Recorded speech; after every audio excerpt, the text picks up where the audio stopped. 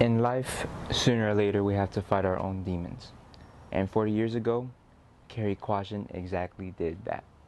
You know, I've been I've been in treatment now, gosh, for 40 years. What happened is 40 something years ago I had my own issues with drugs and I decided that I needed to get clean.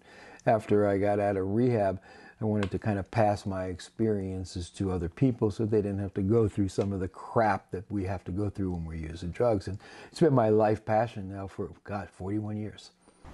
After 40 years of sobriety, Kerry takes a look back on what caused him to use substances in his life. Because I had a father that was an addict, and we moved back and forth from New York and stuff like that. There was a lot of violence in the house, and I got caught up uh, at a young age in alcohol and drugs and gangs and that kind of stuff. And um, there comes a time when I was about 25 years old, I just had enough. You know, it was I was tired of being sick and tired, and uh, life was not very good, and uh, I needed to do something different fast. With achieving the biggest victory over in his life, Kerry is still disappointed in the path he chose to take. I made a decision. You know, I knew better. Like I was, somebody said, "Wow, you got 41 years clean and sober. You should be so proud of yourself." Yeah, I am.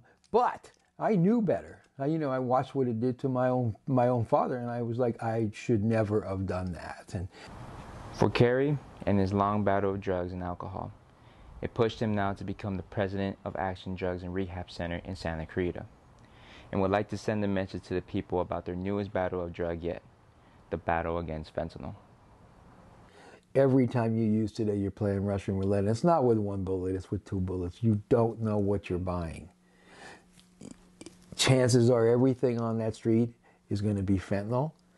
Um, it's not worth playing with, man. It's a game changer. And for any parent out there that used to think, hey, it's a rite of passage for my kid to get high, it is not.